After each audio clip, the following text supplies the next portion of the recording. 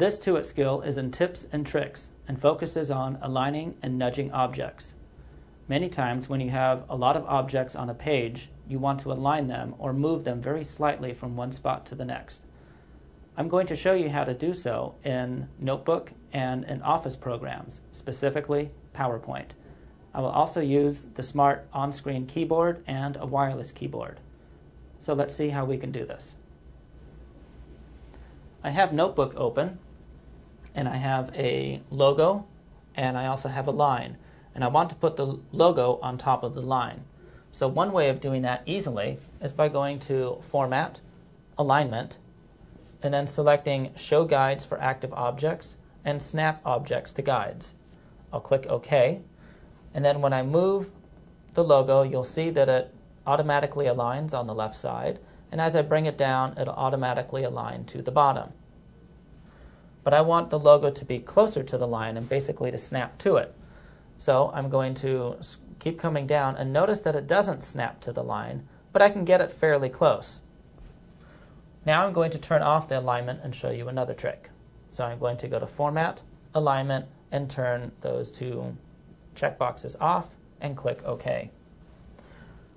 One trick is to use what's called finger roll. And I'm going to select the graphic, move it a little bit, and now I can move it by rotating my finger up and down, or if I want to align it left and right, I can rotate it, I can roll it one side to the next.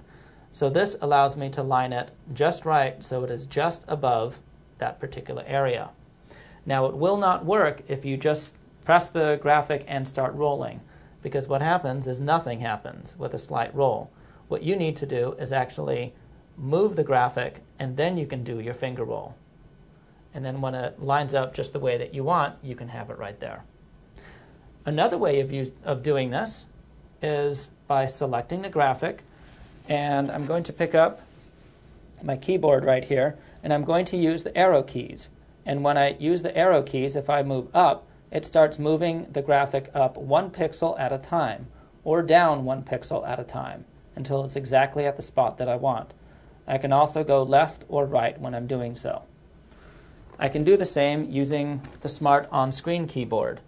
So I'm going to press the keyboard button on the pen tray. I'll bring my keyboard right about here, and I can still use this same thing. Now notice nothing is happening. That's because I have not selected the graphic. Now the graphic is selected and I can move this up or down in the same way I was using my wireless keyboard. Now I'm going to go into PowerPoint because PowerPoint works a little bit differently. So in PowerPoint, I have the same setup where I have the logo up on the top and a line down on the bottom. Now if I select the logo on the top and I use the keyboard to go down, notice that it's going down more um, than one pixel at a time. It's actually jumping by five or six pixels at a time. This is good for alignment, but if I want to have more full control over exactly where it's going to go, I'll have to use a different trick. That trick is using the Alt key on the keyboard. If I hold the Alt key down and I move the graphic, I have infinite control over exactly where it's going to be. I can go down to the pixel and be exactly where I want it to be. So the Alt key allows total freedom of movement. Also, when I'm moving without pressing the Alt key, notice that even though I'm doing the finger roll in PowerPoint, it moves up by a chunk. It does not go pixel by pixel. So those are some ways that you can use the wireless keyboard, the on-screen keyboard, and other tools to align and nudge objects. Now it's time for you to get to it.